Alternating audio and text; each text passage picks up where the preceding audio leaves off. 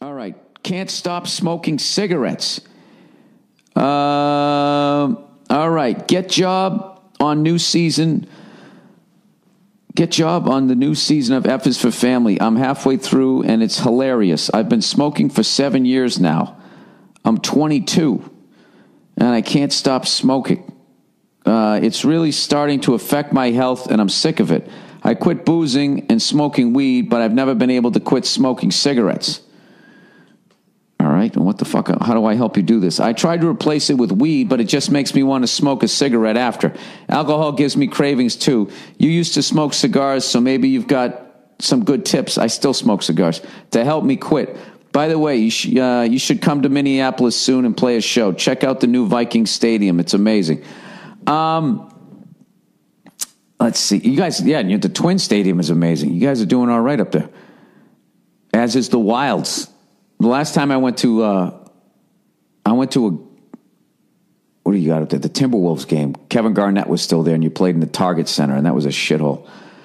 Um, all right. Well, they say quitting cigarettes is as hard as quitting heroin. So, um,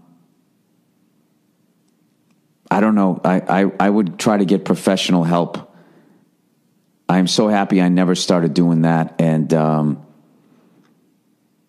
you know, I don't, I like, I used to smoke cigars like, you know, once every like four days or something like that. Now I smoke them like once every two weeks, sometimes three weeks. And I really don't have the craving to do it. I kind of wait for like the right time to do it.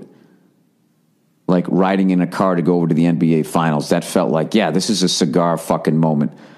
Um, but the way I was doing it before, it was just like fucking, you know, every goddamn couple of days, like, you know, having a humidor and all that type of stuff. You, you can really just, I don't know. Um, I, I still think I smoke too many of them, and um, I don't eat right when I'm on the road, and I drink too much when I'm on the road, and it's something I have uh, personally. I have to stop doing that. Um, I and you know what it is? It's really I find it's just developing. I, I know people say this, but it's just developing new habits like, uh, you know, if you're eating shit food, you crave shit food. If you're eating salads and good stuff, you crave that. And um, I don't know, I'm a creature of habit. And if it's just like every night, you know, we're going out and we're having drinks after the show, it just becomes, it just, your body's like, oh, now we do this. It's in like this routine. So you kind of have to force yourself to break up your routine.